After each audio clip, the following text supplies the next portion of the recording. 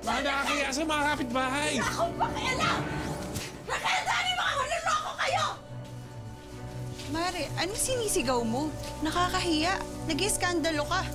Ang gusto ko lang malaman ninyo, pinaghirapan namin yung perang yun. Pinag-ipunan namin ng matagal. Ibalik niyo na lang sa amin yung binigay namin sa inyo. Alam mo kung bakit? Mga swapang kasi kayo sa pera eh. Mga balasuwas kayo! Mare, dahan-dahan naman sa pagsasalita. Parang hindi naman kayo nakinabang nun.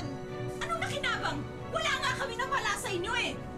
Akala mo naman ang laki nang nawala sa inyo kung magaganyan ka. Sisihin mo yung asawa mo. At hindi kami. Ang bago? Ang ano mo sa namin yan! Sisihin mo yung asawa mo, hindi kami! Tama na, tama na, tama na. Tama na, tama. Para, Daddy, yung pangako mo sa amin, Daddy! Daddy! Daddy! Raquel! Balik niyo yung pera namin! Daddy! Ibalik niyo yung pera namin! Niyo yung pera namin! Kailangan namin yun! Daddy! Raquel! Ma, ma, ma. Tama na, umuwi na tayo. Umuwi na tayo. Pera natin yun! Kagagawan mo lahat to eh! Nangako tayo sa mga bata! Nangako tayo! Babalik tayo! Magbabakasyon tayo doon!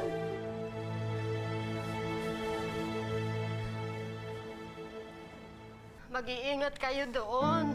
Huwag kayong magpapakasubsob sa trabaho. Yung bilin ko, hu- huwag niyo kakalimutan. Alagaan niyo sarili niyo. Nay naman, para naman kayong bago ng bago eh. eh. Limang taon na ho kami pabalik-balik sa Canada. Sanay na ho kami doon. Kahit sa klima pa. Bakit pa naman kasi kayo nag-renew? Eh, akala ko ba huli na yun? Sayang naman ho kasi. Tsaka huwag naman ho kayo mag-alala. Mabilis lang naman ho yung dalawang taon. Hindi kayo maiinip. Magbibilang lang kayo ng, ng ilang buwan. Nandito na ulit kami.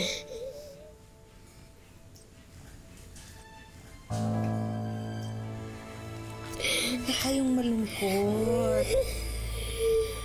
Sandali lang naman kami dun eh. Pangako, babalik kami ulit.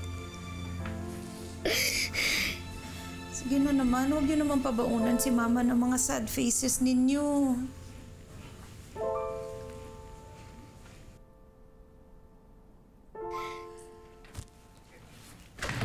Ama, ayos na ba lahat?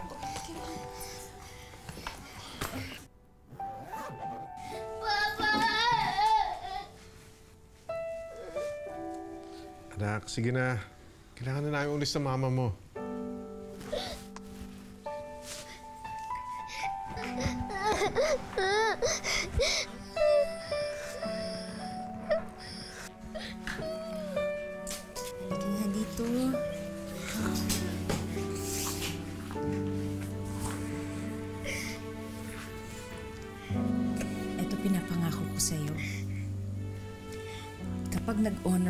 Graduation mo, kahit top 5 lang, uuwi kami ng papa mo. Kami mismo magsasabit ng medalya sa'yo.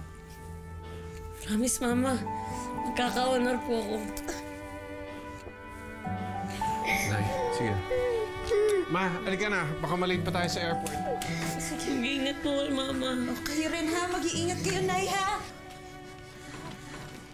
Huwag kayo pasaway kay Nanay ha. Ingat po kayo, Papa. Ingat kayo ha. Ingat po kayo. Babalik sila. Andito na sila. Ang Pasko ay panahon ng pagmamahalan, pagsasama-sama at pagdiriwang ng buong pamilya. Pero paano kaya ang mga kababayan nating OFW na malayo sa kanilang mga mahal sa buhay ngayong Pasko? Sila ang mga nangungulila sa mahigpit na yakap, masayang tawanan at mainit na pagmamahal ng kanilang pamilya.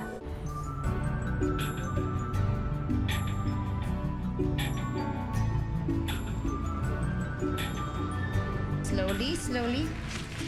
Okay, wait a minute. Okay, you can go now. There you go. There you go. You're so kind to me. Hips up. There you go. Okay, down slowly. And don't say that because when they hear you, they will get jealous. Hmm. Get up, up there. Just gonna tighten. Okay, there you go. You know what, Justin? You remind me of my two children. Actually, I miss them. Are they sick too? Oh, no, no. I mean, you remind me of them because, like you, they're smart and they're thoughtful. Actually, I miss my children. But I promise them I'll visit them by summer. Anyway, I'll just take out the trash and I'll be back and give you your medicines. Okay? Thank you, Lily.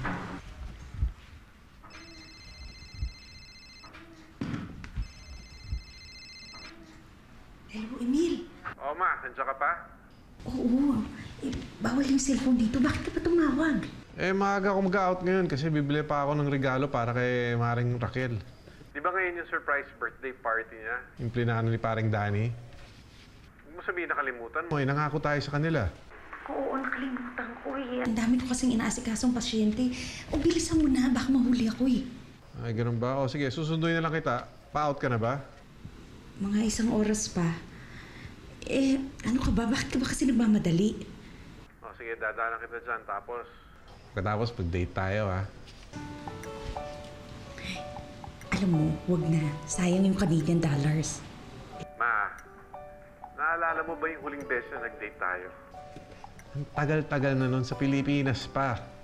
At natatandaan mo, ikaw pa yung parating nanlilibre sa akin kasi wala pa akong trabaho noon. Kaya. O sige, sa Pilipinas na lang tayo mag-date, ha? Sige na, sige na. Bye-bye. Oh, sige, I love you. Bye-bye. Bye-bye. Sige.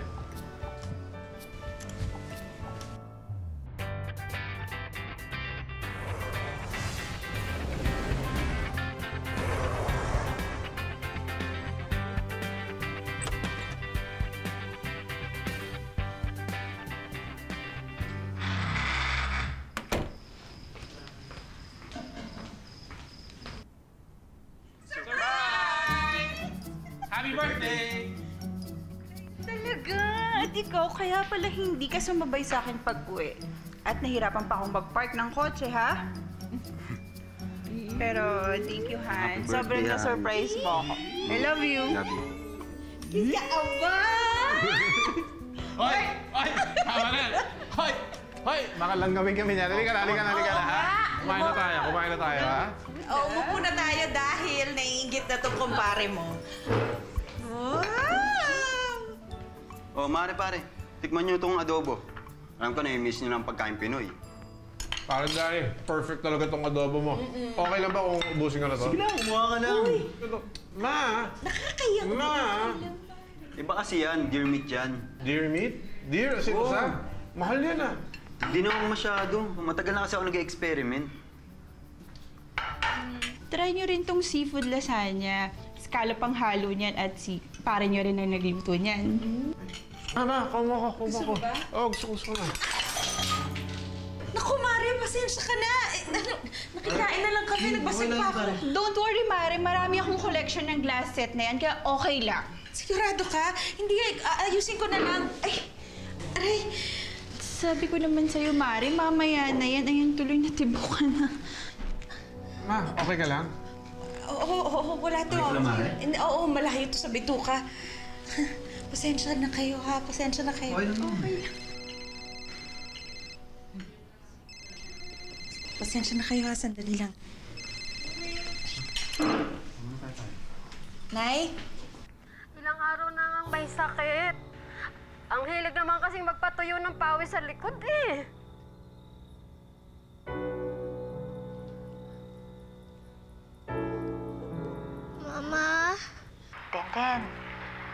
May sakit ka daw. Magpapagaling ka, ha? Ay, o nga pala. Alam mo yung pinapahanap mo sa aming kotse ng papa mo? Yung toy car? Oo, nakakita na kami. Kaya dapat... Magpagaling ka para ma- mapaglaruan mo siya ng maayos. Ha? Apo, promise po, Mama. Mag-iingat ka, ha? Bye, anak. Ay, sige na anak, at ako na bahala dito. O sige, mga. Tawag na lang ako ulit. Ingat kayo dyan, ha? Bye-bye, love you.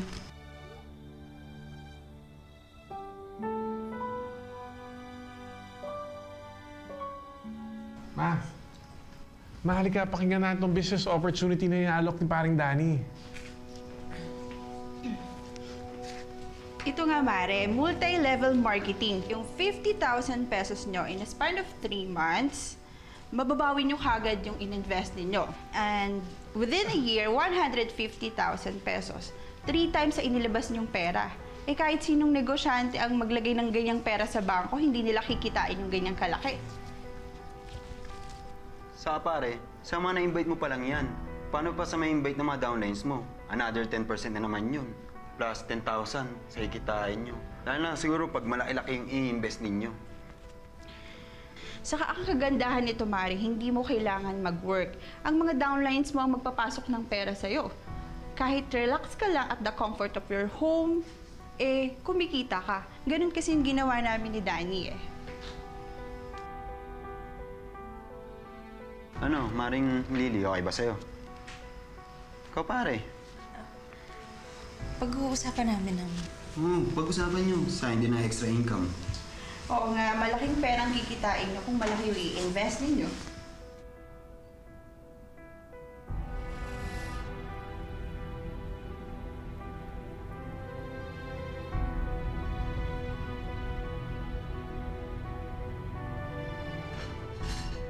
Magoy, mamaya na yan. Halika na, masarap to. Lola, may exam po kami bukas. Kailangan ko po mag-review. Para po makapasa at magka-honor. Ay, di ba naman, honor ka naman talaga. Lola, top 7 pa lang po yun. Kailangan ko po makapag-top 5 para pumuwi na po dito sila mama. At masabitan po ko ng medalya sa stage. Ay nako, ay paano mapupuno yung utak mo kung wala naman laman ang tiyan mo? Halika na, kumain ka muna dito. Dali, masarap ito. Halika na po. Asan pala yung kapatid mo? Positive. Oh. Ay, Lola! Ay, naku po! Ano ba nangyari sa iyo? Tumawag ng tricycle. Dali, pasalin natin to sa ospital.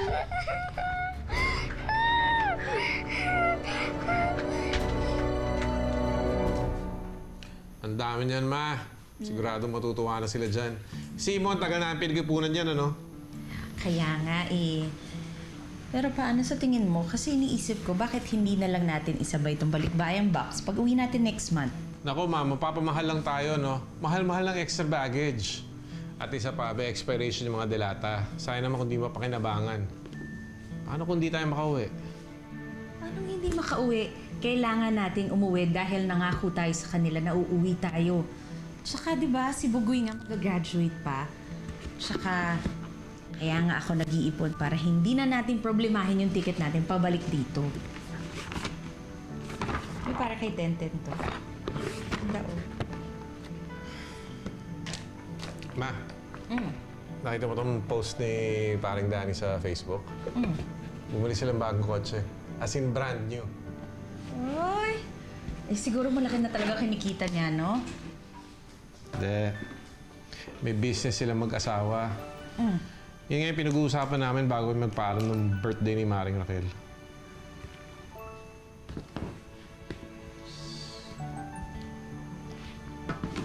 To, Mm. ito mo to. Huling post ni Maring Raquel. Oh. Hashtag blessed. Bumili sila ng bagong bahay, oh. Tingnan nga. Aba? Kalain mo nga naman yan, no? Alam mo, hindi yan naman maintindihan sa mag-asawang yan. Aanin naman nila ang dalawang bahay. Paano yun? TTHS, dito yung isa, MWF, dito yung isa, o kaya naman si pare dito sa kabilang bahay, si Mare di, di ba? May mga Ay, tao talagang ganyan. Hindi na kontento sa isa. Hmm. Saka alam mo yan, parang siguro token na nila yan para sa lahat ng pinaghirapan nila. Gusto nila, nakikita nila yung pinundar nila. Hmm, kung sa bagay, pinaghirapan naman nila yan. Eh, iniisip ko nga, ilang taon na tayong pabalik-balik dito. Hanggang ngayon, nagre-rent pa tayo ng apartment. Naipundar lang natin isang bulok na sasakyan. Uy, ano naman masama doon? Pa, hindi naman tayo nagtatrabaho sa abroad para bumili ng luho. Saka sina paring Danny at Maring Raquel, sa kanila lang yung kinikita nila. Di ba nga, wala pa silang anak. Pero mga gusto ko rin naman umasenso tulad nila. Kaya nga iniisip ko, ba't di kaya tayo pumasok sa business nila? No, yung networking? Eh, nako, pa, di ba sinabi ko sa'yo, hin- hindi talaga ako komportable dun sa, sa business na ganun eh. Isa pa, hindi naman ganun kalaki kinikita natin eh. Yung kukonting kinikita natin, ipunin na lang natin. Kaya nga, yung savings lang naman natin ang ipapasok natin eh. Malaking interest, hindi kayang kitain yun sa bangko. Hindi ko alam talaga. Alam mo, nagdadalawang isip talaga ako dyan eh. Eh, pag-usapan na lang natin siya sa ibang panahon. Akin na, akin na. Tatawagan ko si nanay. Sabihin ko, meron tayong padala sa kanilang balikbayan box at papangalan ko sa kanya.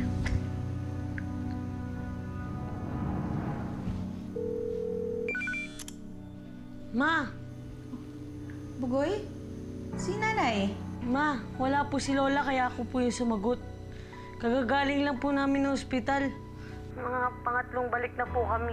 Hospital? Bakit? A- anong nangyari kay nanay? Ma, hindi po si Lola yung sinugod sa ospital. Si Tenten po. May sinasabi po yung doktor na sakit ni Tenten eh. Acute. Acute leukemia daw po. Umiiyak nga po si Lola kanina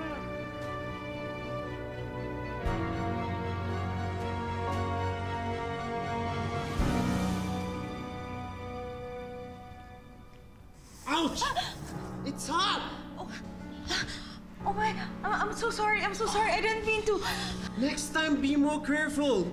You're paid here to take good care of us and not to harm us in any way. Yeah, yeah, yes, I know. I, I'm so sorry. I was just preoccupied thinking about Preoccupied? You don't bring your problems at work. You know what? Get out. Can you get out? Yeah. I'm so sorry. Get out!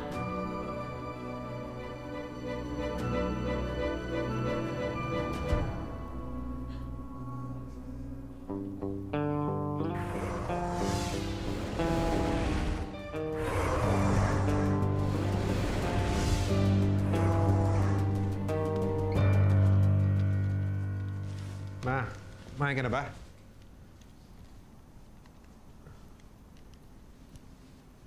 Ma, ang sabi ko, kumain ka na ba? Ay, hindi, hindi pa eh. Ina- Inaaskasa ko lang to eh. Tsaka, pasensya ka na, hindi ako nakapagluto eh. Nag-take out na lang ako dyan ng, ano, ng chicken sandwich tsaka yung spaghetti gusto mo. Ano ba nangyayari sa'yo? Eh, hindi mo ba nakikita? Nagko-compute ako ng kinita natin dahil kinuha ko na yung payslip nating dalawa. Kailangan natin magpadala ng pera dun sa sa Pilipinas para sa pagpapagamot ni Tenten. So, anong plano mo? Wala akong choice eh. Kumuha ko dun sa savings natin. Bakit di kasi tanggapin natin ang tulong na inalok ni paring Danny? Easy money. Diba, ilang beses na natin pinag-usapan yon. Ang importante, ang mas importante ngayon, makapagpadala tayo ng pera sa Pilipinas.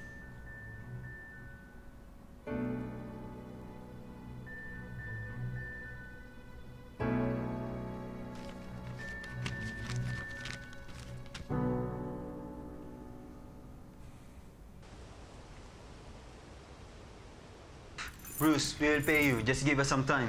No, not this time. I won't allow your excuses. You always give me a hard time. Please, just one week. Bruce, please. We will pay you. No. Bruce! Han, bakit mo pinayagang mahatak yung kotse natin? Ang gagawin ko, wala na tayong pera. Yung mga downline natin naniningil na. Si Mr. Smith, hinahanap niya na yung invest niya. Ito naman sa amin, hindi ko magilip eh. Siya tumayak ng pinakamalang pera. Kaya kailangan natin makakumbinsi ng isa o kaya dalawa. Para may pantapal muna tayo sa mga utang natin. Pag nakabawi naman si Simon, mabawi rin natin yung ininvest nila. Marami po. Aba, mukhang marami silang pinadala ngayon ah. Nga po eh. Ito po. Wow. Mukhang inipon nga po nila. Ito po. Uy, O, tenten oh. Oh, ba't ka umiiyak? Di ba yan yung bilin mo? Namimiss ko na sila mama at papa. Magsisimula na akong ikemo bukas. Sana nandun sila. Tenten, huwag ka mag-alala. Alam mo, isa ako sa high sa exam namin. Kasi sigurado ako makakauwi sila mama. Di ba yun yung promise nila? Tsaka, pipilitin ko mapasama sa top 5 para sa'yo. Ah.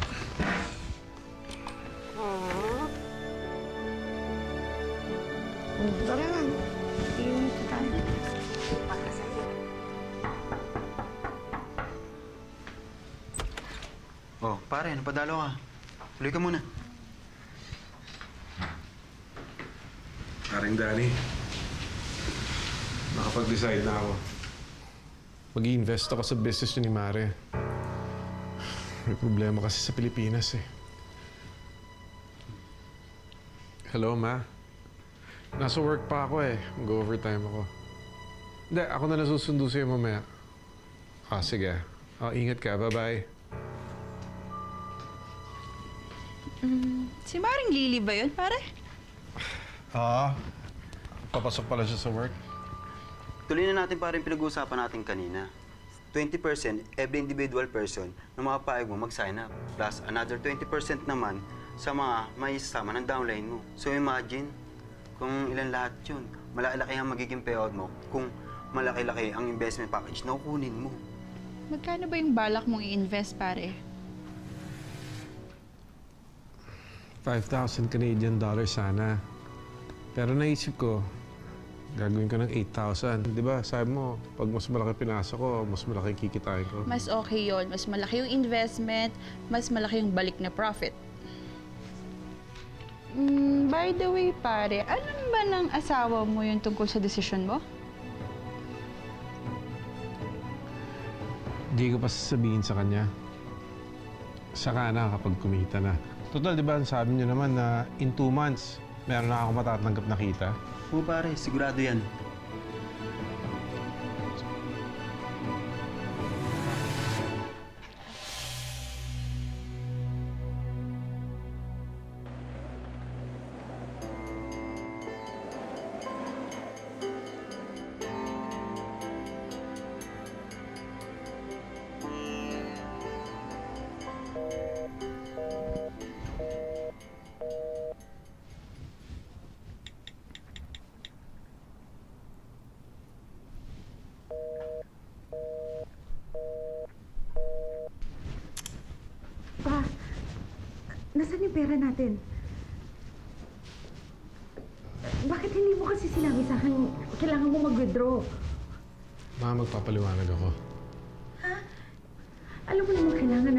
Pera, di ba? Para yun sa anak natin eh.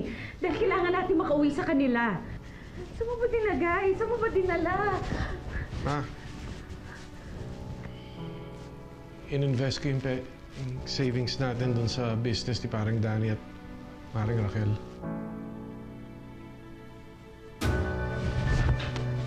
Nasabi ko na nga ba eh. Kung hindi ba ako nagtanong, hindi ko malalaman?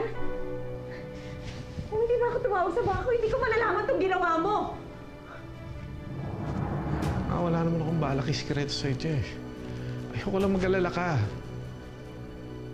Once, tawagan mo. Sabi mo, kailangan natin yung pera natin. Yun nga yung problema eh.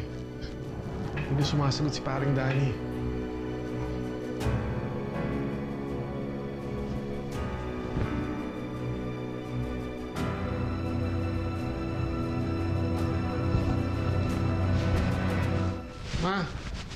Ma! Ma, saan ka pupunta?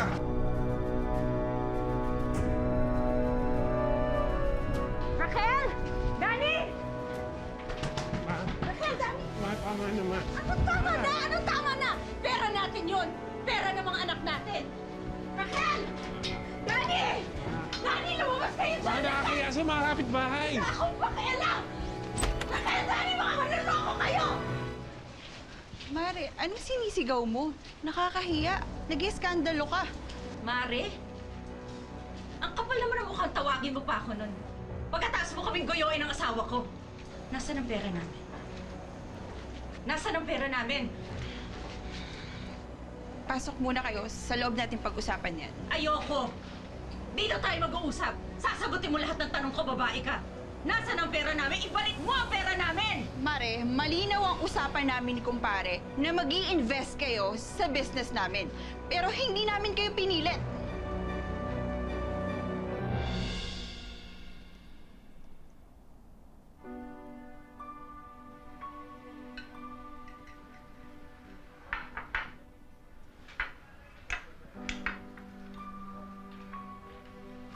Ten-ten, apo. Nag-alisa na ang mga bisita. Hindi mo pa hinihipan yung cake mo. Hipan mo na. Oh.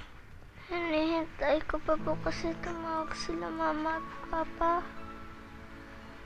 Gusto ko po kasi kakanta po sila pag nag-blow po ako ng candle ko. Ten-ten. Ulitin na lang natin yun pagdating nila mama at papa sa next month. Sandali na lang naman yun eh. Diba, Lola? Oo naman, apo. Malapit na silang dumating. Sige na, hipan mo na yung cake mo.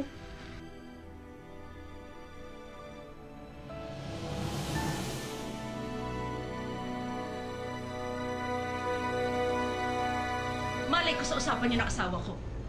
Bakit ba kasi hindi niyo sinasagot ang tawag namin? Bakit niyo ba kami pinagtataguan? Hindi naman sa ganun. Busy lang talaga, Mare, at hindi ko rin alam kung anong isasagot ko sa inyo dahil nga yung mga business partner naman talaga... Wala akong pakialam kung sino man ang kasosyo niyo dyan. Ang gusto ko lang malaman ninyo, pinaghirapan namin yung perang yun. Pinag-ipunan namin ng matagal. Ibalik niyo na lang sa amin yung binigay namin sa inyo. Alam mo kung bakit? Mga swapang kasi kayo sa pera eh. Mga balasuwas kayo! Mare, dahan-dahan naman sa pagsasalita. Parang hindi naman kayo nakinabang nun. Anong nakinabang? Wala nga kami napala sa inyo eh! Akala mo naman ang laki nang nawala sa inyo kung magaganyan ka. Sisihin mo yung asawa mo. At hindi kami. Ang mukha mo? Ang mukha mo sa buhay na pinag-ipunan namin yan! Sisihin mo yung asawa mo, hindi kami! Tama na, tama na, tama na. Tama na, tama. Honey! Para, Daddy, yung pangako mo sa amin! Daddy!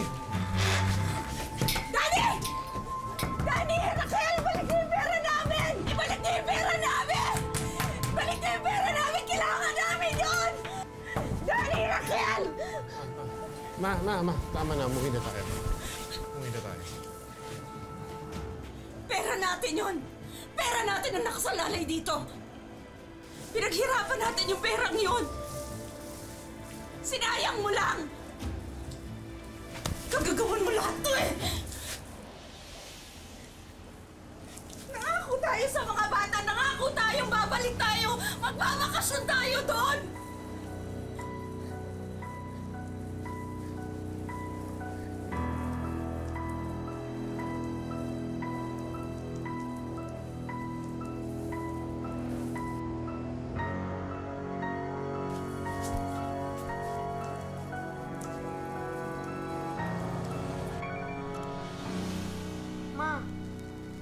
Kanina pa po namin kayo hinihintay.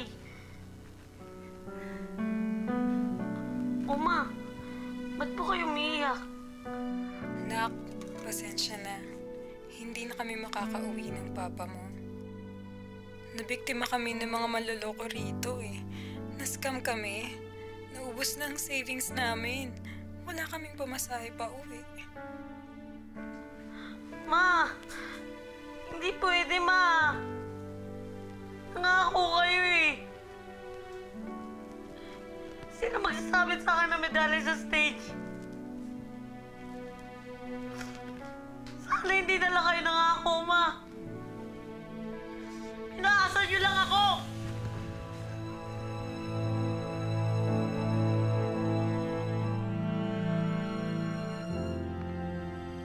Pero anak, anak, ano ba nangyari? Nabiktima kami ng mga manloloko rito eh. Nascam kami. Ha? Paano yun?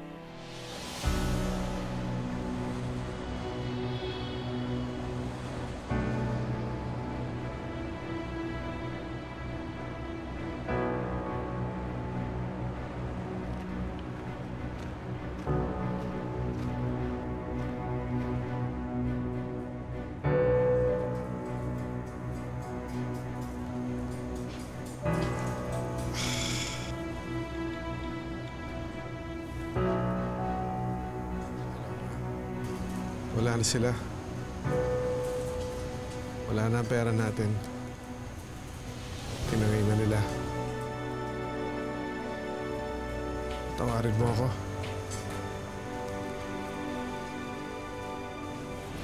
Ayon sa tala ng gobyerno, mahigit dalawang milyong OFW na ang nasa iba't ibang panig ng mundo.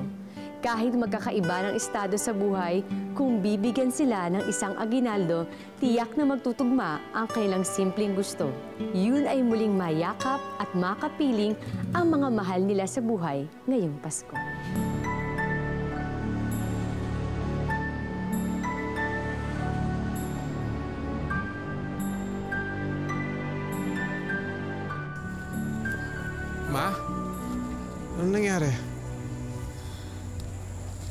Na tayong titiran. Tumawag na ako sa bangko. Sinabi ko hindi na natin kayang magbayad eh. Yung natitira nating pera, papadala ko na lang sa Pilipinas. Pag-graduation ni Bugoy at saka dun sa pampapagamot ni Tenten. Huwag mo na akong tingnan ng ganyan. Ginawa ko lang yung alam kong tama. Hindi katulad mo.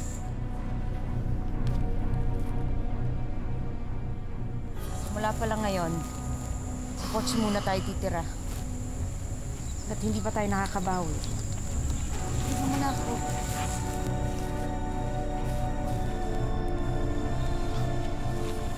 Lagyan mo na yan sa.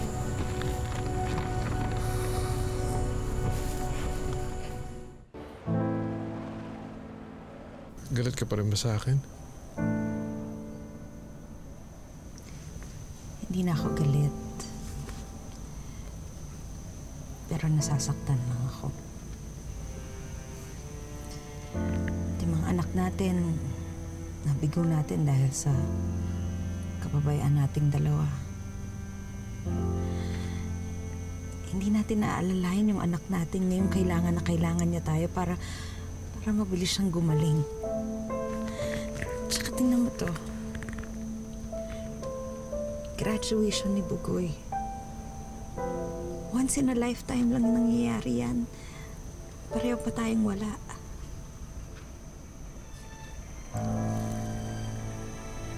Patawarin mo ako, Lily. Hindi ako nakontento. Sa kagustuhan kong matupad ang mga pangarap natin. Makapagpadala ng malaking pera. Naghanap ako ng malaki at mabilis na paraan. Pero nagkamali ako. Nagsisisihan ko yan. Hindi ko talaga alam bakit hindi ka naniwala sa akin. Sa akin lang naman pinaghihinayangan ko kasi pinagtrabahuhan natin yun. Pinag-ipunan natin yun. Pero wala na tayong magagawa. Siguro ang tadhana lang magpaparusa sa kanila. Hindi naman natutulog ang Diyos eh.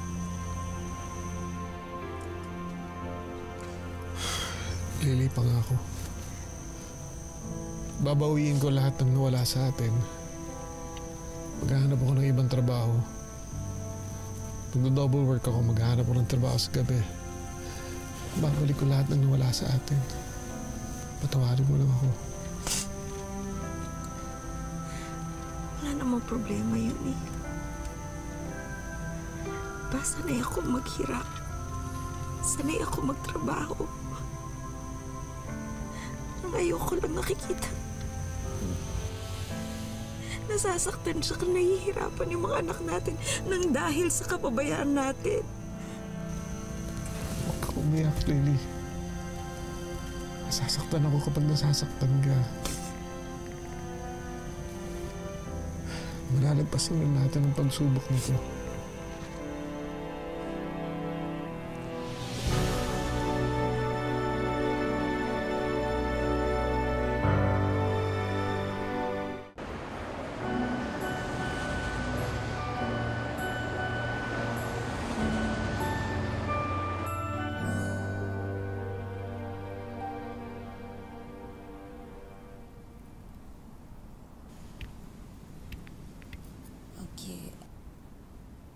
Later, I will give you your medicine. And then...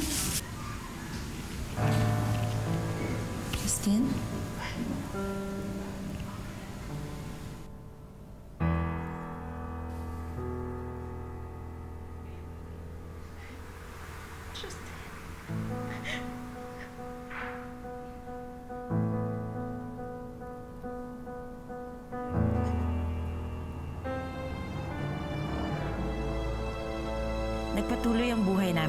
Canada dahil kailangan namin makabawi sa perang nawala sa amin. Napagdesisyonan ko mag-double shift sa nursing home care na pinapasukan ko. Si Emil naman ay nag-double work din. Nagtatrabaho siya sa umaga sa isang courier at tinanggap din niya ang ibang racket katulad ng pagpapasada sa taxi sa Canada tuwing gabi.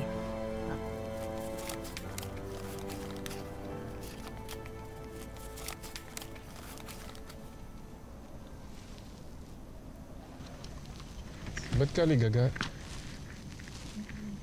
Binibilang ko kasi kung sapat na ba to para makabili tayo ng ticket pa uwi ng Maynila eh. Anong plano mo?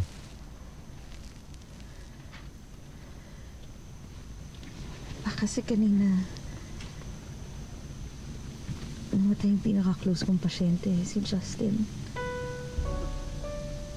Tapos naalala ko si Tenten. Ayoko mangyari yun sa kanya. Ayoko, ayoko mangyari sa kanyang mamatay siyang nag-iisa. Kaya gusto kong umuwi ng Pilipinas. Ka ba? Imposibleng mangyari yan sa anak natin. Kahit na. Hindi mo naman masasabi. Basta kailangan nandun ako sa tabi niya kung sakali man mangyari yun. Bilang isang ina, kailangan, kailangan nasa tabi ako ng anak ko. Kaya pa kahit na anong mangyari, uuwi tayo ng Pilipinas.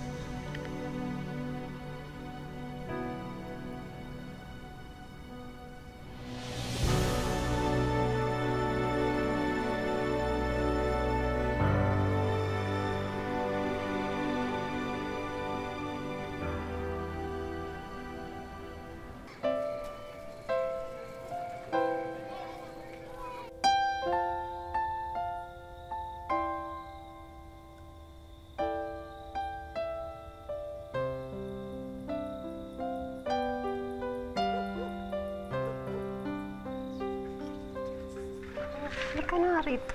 Nalungkot.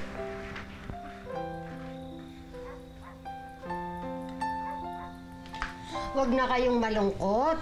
Magpapasko na mamaya. Hindi magandang salubungin ng nakasimangot. Huwag na kayong malungkot ha. May pagkain tayo. Ano pa ba naman gusto ninyo? Apo. Buti na no, meron pa tayong ham. Ha? Jingle bells, jingle bells, jingle all the way.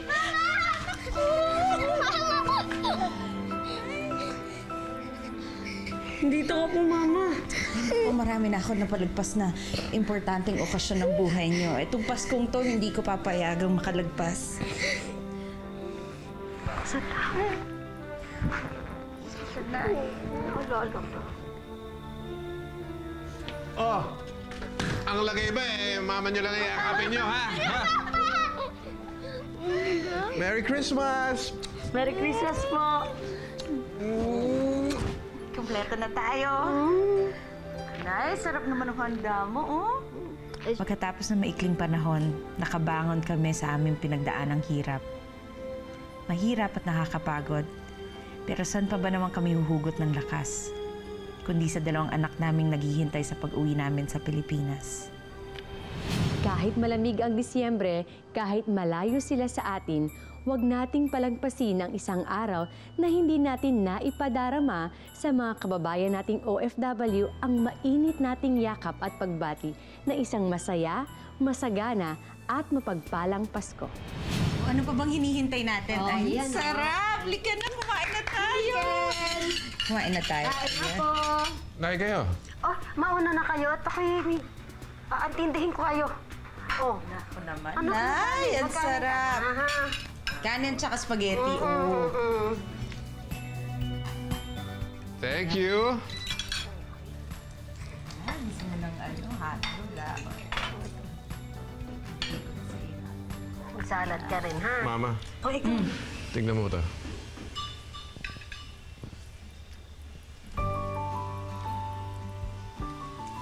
Diyos na sumingin sa pagkakautang nila. Ngayon, pagbabayaran nila lahat ng ginawa nila sa kulungan. Huwag mo na intindihin. Kumain na tayo. Nako! Merry Christmas! Ang buhay ay hindi isang daan na mga tinakdang hirap at pasakit. Ito ay sangang daan na magbibigay sa atin ng maraming pagkakataon para marating natin ang sarili nating tadhana. Maligayang Pasko sa inyong lahat. Ako po si Marian Rivera. sa iyong